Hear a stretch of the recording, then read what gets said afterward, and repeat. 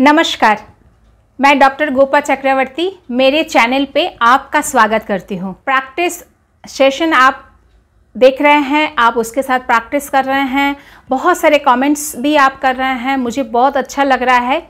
ऐसे ही प्रैक्टिस का और एक दौर आज मैं लेकर आई हूँ। दो तीन इंपॉर्टेंट बात मैं करने वाली हूँ। आपने जो कॉपी को मेंटेन किया है। कुछ लोग मुझे कमेंट कर रहे हैं कि हमने कॉपी बनाए हैं और उसमें हम लोग लिख रहे हैं। उसके हिसाब से हम प्रैक्टिस करते हैं। बहुत अच्छी बात है।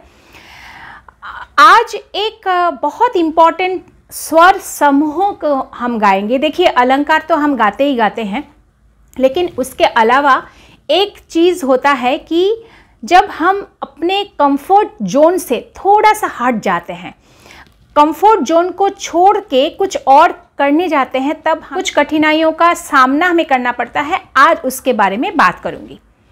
देखिए आपका स्केल आपको पता चल गया है। आपका स्केल में आप सारे गामा गा रहे हैं जैसा कि मैंने लास्ट वीडियोस में भी बताया है आपने गाए हैं।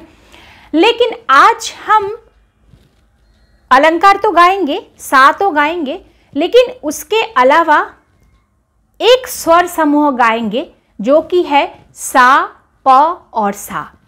सा मध्य सप्तक का सा, मध्य सप्तक का प और तार सप्तक का सा। देखिए, ये जो तीन स्वर है ना, ये तीन स्वर बहुत इंपॉर्टेंट है। मैं बताती हूँ कैसे। जैसे आप सा के बाद रे गाते हैं, रे के बाद गा गाते हैं, एक जैसे आप जर्नी शुरू करते हैं तो ये आपके लिए बहुत इजी जर्नी हो जाता है बहुत ईजी ट्रैवल हो जाता है। जैसे कि मानो आप ऑफ़िस से निकले हैं और घर के तरफ़ आ रहे हैं आपको पता है हर रोज़ आप उसी रास्ते से आते हैं और आपको पता है कि मैं इस तरीके से निकलूँगा और इस तरीके से मैं इसी रास्ते से मैं घर पहुँचूँगा। मुझे बहुत कंफर्ट लगता है आप बिंदास आते हैं। अचानक आपकी बीवी का फ़ोन आता है कि देखिए अब आप, आपके रास्ते में थोड़ा सा लेफ़्ट जाएँगे और थोड़ा सा राइट मुड़ेंगे तो एक पनीर वाला का दुकान है, वहाँ से आप 250 पनीर लेके आइए। तो आपका दिमाग ऐसे चकित हो जाता है, आपका दिमाग थोड़ा डिस्टर्ब हो जाता है। आपको लगता है कि फिर क्यों? अच्छा ही तो है, ऑफ़िस से निकलेंगे या ट्रेन से निकलेंगे, उतरेंगे, अब सीधा सीधा घर आएँगे। ये बीच में क्यों ऐसे कट, क्यों मारने का है? और कट करके हम जाएँगे तो हम थोड़ा सा विचलित हो जाते हैं। ठीक उसी तरीके से जब आप सा शुरू करते हैं और सा के बाद रे गाते हैं, रे के बाद ग गाते हैं, लेकिन आपको अगर बोला जाएगा कि नहीं, आपको ये रे, ग, म नहीं गाना है, डायरेक्ट आपको प गाना है। देखा आपने? आपको लग रहा है ऐसा कैसे होगा? ये कैसे हो सकता है? लेकिन यही करना है। आपको सा के बाद डायरेक्ट प गाना है। प के बाद ना तो ध गाना है, ना तो नी गाना है डायरेक्ट ऊपर का सा गाना है। ये जो तीन स्वर है ना, ये पिलर है। आपके जो स्वर है ना, आपके जो सुर मेंटेन होगा, उसका पिलर है। ये जब आप शुरू करते हैं, उसका स्टार्टिंग का सा और बीच में आते हैं जब, होता है ना कि कोई भी एक फाउंडेशन होता है उसका जो पिलर बीच में अगर एक सपोर्ट रहता है तो वो जो इमारत है बहुत आ, मतलब मज़बूत बन जाता है। ठीक उसी तरीके से हमारे स्वरों को हमारे सुर को मज़बूत करने के लिए हम साग आते हैं बीच में आके पा को हम इंश्योर करते हैं पा को अच्छे से गले में लगाते हैं उसके बाद हम डायरेक्ट सा पे जाएँगे। ये प्रैक्टिस बहुत ज़रूरी है आज इस प्रैक्टिस को हम भी हम लेंगे। उसके साथ एक ताल है, जिसका नाम है एक ताल ही। आपको पता है, अगर आप क्लासिकल सीख रहे हैं तो तीन ताल, दादरा, कहरवा, वो तो ठीक है इंपॉर्टेंट है। खासकर त्रिताल क्लासिकल सिंगिंग के लिए बहुत इंपॉर्टेंट ताल है। लेकिन ये जो एक ताल है, अगर आप दो से तीन साल संगीत सीख रहे हैं तो आपको पता चल जाएगा कि एक ताल हमारे गायन में इतना इंपॉर्टेंट क्यों है? क्योंकि एक ताल में हमें विलंबित गाना पड़ता है। अब विलंबित वगैरह क्या है? आप दूसरा मेरा जो चैनल है, डॉक्टर गोपाल चक्रवर्ती चैनल, उसमें जाके देख लीजिए कि विलंबित ख्याल किसको कहते हैं। अगर आपको मालूम नहीं है तो। अगर मालूम है तो आपको पता है कि विलंबित जो हम लोग ख्याल गाते हैं, उसको हम लोग मोस्टली एक ताल में गाते हैं। तो एक ताल को अच्छे से हमें समझने के लिए विलंबित तो हम बाद में गाएँगे, लेकिन पहले हमें मध्य लय को समझना है। आज मैं तीन अलंकार आपको सिखाने वाली हूँ, जो एक ताल में आधारित है। तो चलिए शुरू करते हैं अपना रियाज़।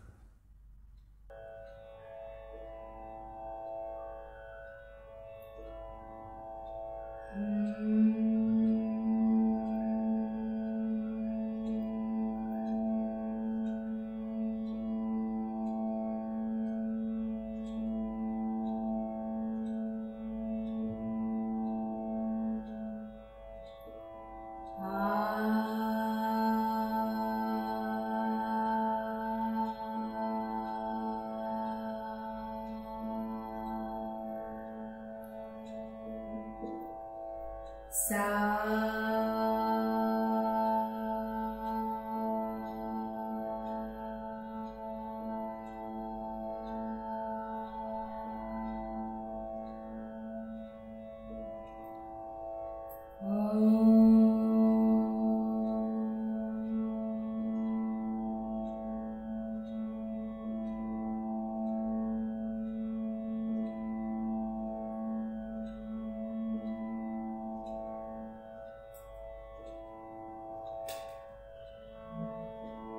So.